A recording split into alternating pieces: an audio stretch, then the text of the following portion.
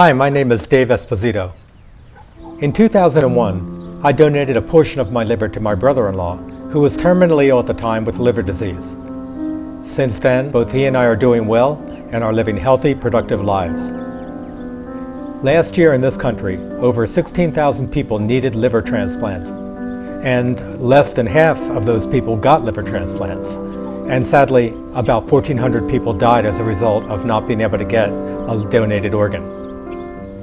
I wanted this film to educate and encourage those of you watching who have a friend or family member with terminal liver disease to think about the information presented in this story and to consider becoming a living donor. Although there's a lot of knowledge you need to know and understand, and there are risks involved in living donation, I can tell you firsthand that if you decide to donate, you will have done a great thing, a once in a lifetime thing. Our family wants to thank the transplant surgeons, nurses, social workers, and support staff who have dedicated their lives in a very profound way to helping one person give to another.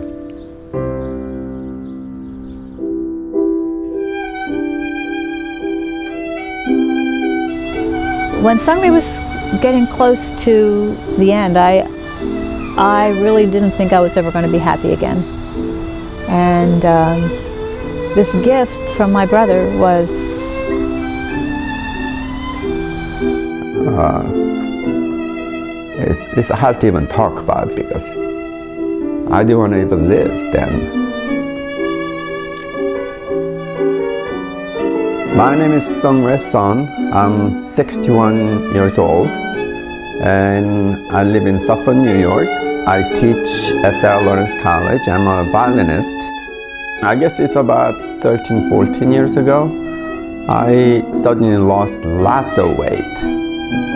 So I went to Dana-Farber Medical Center and the head of the cancer unit said, no, I don't have cancer at the moment and I should see somebody else. So again, I went to another doctor and he found that I had um, Hep B. Which apparently he had had since childhood. Um, it really came, I guess he was having an acute episode. At this point, he was very sick, very weak. He was supposed to die in six months. He had liver cancer. It was all over. Uh, I just remember at that time it was very uncertain as to what was really wrong with Sungray. Sungray went through a battery of tests and it was determined that he was going to need a liver transplant, that his liver was failing rapidly enough that he was going to have to face this. Sungray had cirrhosis of the liver as the result of having had infection with the hepatitis B virus for many years. He had gotten this way back long ago. Uh, it's the nature of the liver to be able to handle uh, injury very well, and so that it takes many years for a process of the, the, damage to the liver that ultimately leads to a transplant to develop. But uh, over time, uh, the repeated injury and the liver's attempts to recover from the injury lead to the buildup of scar tissue in the liver, which ultimately reaches a point where it's called cirrhosis. And at that point, uh, a number of different things start to happen, and they started to happen to Sungray. Everything was going um, badly. My memory was going and it was always very cold. And I couldn't sleep for days in an end. And I had cramps in my body. I couldn't move. And so uh, it was real torture. Pressure starts to build up in the blood vessels, in the spleen, in the stomach, the intestine, and in the esophagus, the, the channel that brings the food down to the stomach um, because the blood can't pass through the liver very well. Pressure starts to build up, the veins start to enlarge, and they can lead to, and did in Sungray's case, lead to uh, repeated episodes of rupture, bursting of these blood vessels, leading to episodes of internal bleeding, any one of which can be fatal, and they're certainly uh, scary and debilitating. Ultimately, the only solution is to, to replace the liver. And so he was put on a waiting list. Um, he had several more hospitalizations at Mount Sinai um, when he became acutely ill. And we really didn't know whether he was going to get a liver. There were people far sicker than he, and it was explained to us that the liver would go to the sickest patient. My state of mind was awful because it was always dealing with the unknown. It was always dealing with, is he going to have a bleed? And we were kind of always waiting for the other shoe to drop. Well, we had been hearing uh, bad news about Sungre's health, and every time we talked with Pat, it was going from bad to worse, and we were very concerned. And just by blind luck, I happened to uh, read an article in the New York Times about uh, liver donation, live donation, and we were just astonished. We had never heard of this before. We didn't know if it might be possible, but we just decided we should talk about it and see if it might work for Sungre. When I heard Ann uh, tell me about that article in the New York Times, I basically made up my mind right then to try to become a live donor. Um, it didn't seem to me that Sunray was going to make it. I think if he would have died before he had gotten a cadaveric uh, organ. Um, and this just seemed like the perfect way for him to get a transplant while he was still strong enough to hopefully pull through the operation. I remember at the time being surprised that Pat and Sunray didn't seem to want to talk about live organ donation with myself and Anne, uh, or whether they didn't know very much about it. They, they just didn't seem very communicative about it, and I wasn't sure what was going on. We were so focused on a cadaver uh, providing a liver in time for Sungray that we didn't even consider the possibility of a living donor. It wasn't mentioned to us. I didn't even know about the living donor situation. I didn't know somebody actually can give. I thought I'll be dead. So I wound up giving the transplant center at Mount Sinai Hospital a call, and I wound up going in for an interview with a social worker who gave me an orientation to becoming a live donor for Sunray. And uh, I do remember she also asked in a number of different ways whether I was feeling any coercion or pressure from family members, and I said, really no, just the opposite. I I was pressuring to become a live donor. I, want, I wanted the process to move forward as quickly as possible. Back in 2001, when Dave and Sun Ray went through the living donor process, things were very different. Currently, there are a lot of state and federal regulations around living donation, and most of these have been put in place to protect the donor. Now every transplant program has a team approach to living donation, and so recipients are educated about the need for transplant, and living donation is presented as an option to them in most cases. Yes, my name is Emmanuel Malik, and I'm interested in becoming an organ donor. I have a family member who is sick, and I, I'd really like um, to help out if I may if there is somebody who wants to be a living donor in the family or a friend who's interested in doing that, they call the transplant program and they have a separate evaluation by a separate team. And this team would consist of a physician, a surgeon, a nurse who's a transplant coordinator, a social worker, and a living donor advocate. And this person's sole job is to make sure that the donor understands the risks involved and that there's no coercion that exists and really helps them to make the decision. Many transplant candidates are hesitant to talk about the possibility of living donation with their family members. They feel like they don't want to burden their family members or their loved ones with such a difficult decision, or uh, they're thinking about the well being of their loved ones and wouldn't want to put them in harm's way. It's also important for transplant candidates to keep in mind that their loved one may be waiting for an opportunity like this, as in living donation, and they might be upset, the loved ones, if they're not given this opportunity to help in this way, to learn about the option. As I learned later, um, Pat and Sun Ray were having some of these concerns themselves. We started to feel very awkward around David. Does he really want to do this? What about his wife? Uh, how do we even talk about these things? I, I, knew it must be difficult for Pat and Sun Ray to consider having a family member as a donor. But, you know, there just seemed no question in my mind that as long as I was a suitable donor physically, that this was obviously the way to go. The chances were good for both of us. Now I think about it, I think, well, you know, sure, I wanted it to happen, but Sunray could have turned down me as a donor. He could have just not wanted to risk a family member. And I've told him, I've told him in subsequent years, you know, if he had done that, I would have, I would have probably murdered him myself.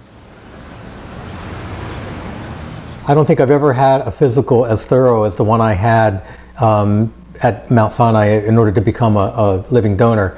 Um, I had x-rays, uh, an MRI. I visited a blood uh, doctor, um, also uh, a cardiologist, uh, and a, a, psychologist, and a social worker. All of this in one long day. In general, the screening uh, uh, process for for living donation, the living donor evaluation, it, it's a very extensive process and entails uh, uh, a big group of uh, healthcare providers to evaluate the donor from every single aspect, uh, from, uh, from a medical aspect, a surgical aspect, and also psychological and psych psychosocial aspect in order to be uh, a living donor.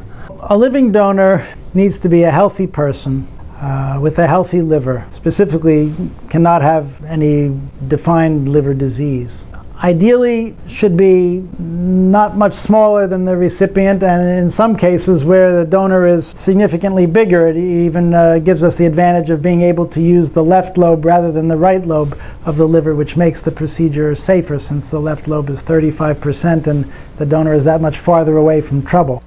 The blood type has to be compatible, uh, not necessarily identical. For example, O is a universal donor, so that if the donor is type O, it doesn't matter what type the recipient is, uh, the donor can give.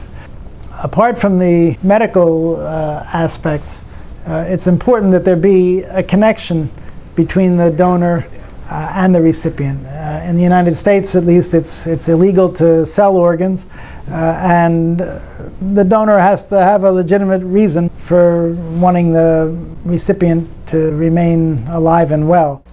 Not long after my screening, I was given the okay to become Sunray's donor, and then they basically told me the next move was up to me as far as scheduling the transplant. And I, I wanted to do it soon, uh, the sooner the better.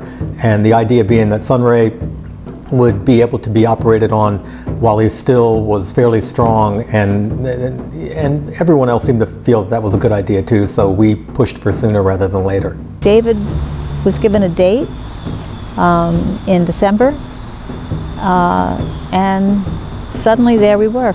The sense of time going into the week of the transplant was really, everything accelerated. It was like a train just going down the track inevitably and um, it was looming larger than life. I think we were all focused on uh, the new beginning, you know, what was about to happen. Um, in, in less than 24 hours, Sunray would have had his operation and hopefully we, would both be doing well and it would be like a new life. I was just walking around in fog, I guess. And then when we actually walk into the uh, surgical place, then I realized, you know, it's gonna happen. And, and then I was out. The day of the surgery, uh, it's, it's essentially what we say is a full day event for everybody. Uh, for the donor, for the recipient, for the donor team, and for the recipient team. We can't look at a liver and say, well, we, we need about this much. We have to divide the liver at the point between the left and the right lobe so that each side has its uh, complete blood supply. We are obviously doing these two procedures at the same time in adjacent rooms in order to minimize the time that the donor piece of liver will spend out of the body. So we'll be consulting back and forth. You know, are you ready yet? No. Give us a half an hour. So we'll take a little break uh, until the, the recipient room is ready. When everything looks perfect and all bleeding is stopped and things are controlled, we close up, uh, close up there. And next time I woke up, I felt suddenly really, I can think suddenly, and I was warm for the first time in many years. So just dramatic change that I felt and I didn't have a lot of pain and my body seemed like it's my own again. I remember waking up and feeling pretty done in. Um, I, I, remember laying on the, uh, on the bed and I couldn't turn the room right side up. Everything was sideways. Um, uh, I also remember the first few days I, I couldn't sleep real well and I, I, would go to sleep and I think it was morning and maybe two minutes had gone by. And so it was a long, some long nights. Um, the first week was pretty tough, yeah. When a donor has an operation, they're usually in the operating room for about four or six hours. And after that, they spend some time in the intensive care unit, usually overnight, and then are hospitalized for about five to seven days. They go home and they don't feel all that great. And usually they're back to work about six weeks after donation, but they don't feel 100% for about three or four months. I was 48 at the time of the transplant, and within six weeks I was back to work. Within three months I was bicycling 15 miles a day to and from work. Um, like most transplant uh, donors, I've had really zero long-lasting after effects from the transplant from having been a donor. Sunray's had a few issues, few health issues though, like many transplant recipients, and he continues to have a few even now, well, it's nine years later, uh, if I do something, you know, weird with my body, I, I still feel the pain, but that's just minor thing you carry. And you realize, I guess it's a reminder that you did have transplant.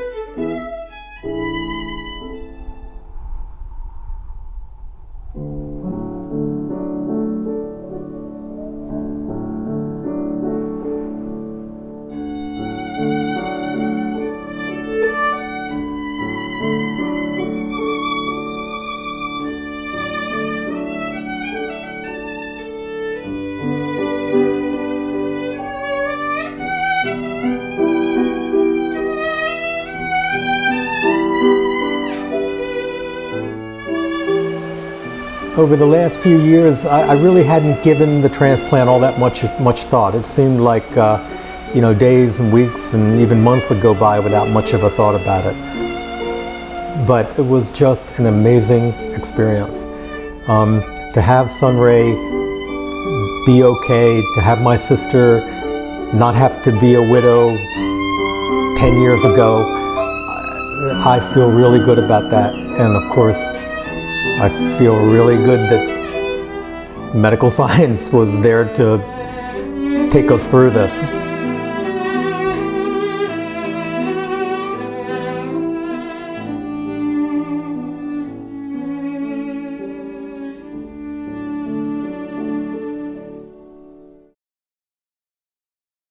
This gift from my brother was, um, it was a gift of life for me as much as to Sunray because, you know, here he is and he's relatively well. He's had some complications, but he works, he functions, he's a violinist, he gives concerts. He's doing everything he wants to do, even gardens and swims. So, you know, can't argue with success.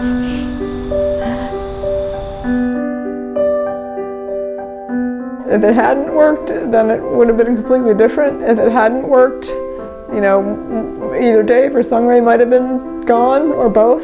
And so I think the impact is that they're both still here. You know, they're both still here and we get, we get to have more time together.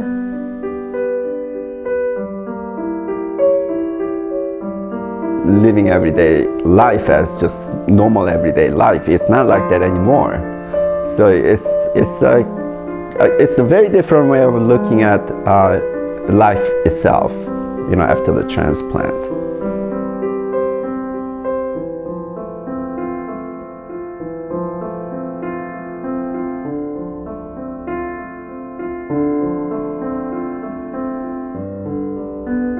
At this point, as opposed to maybe when I was uh, younger and more of a, uh, a surgical cowboy type, if, if you want to say, I feel a little bit of trepidation every time we, we, we, we start a case like this. Uh, and um, I'm thankful each time that things go well.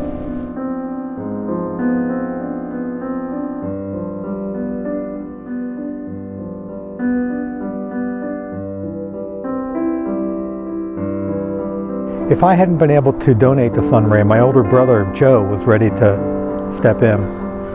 And to me, in a, in a perfect world, there'd be a line forming for each and every person needing help.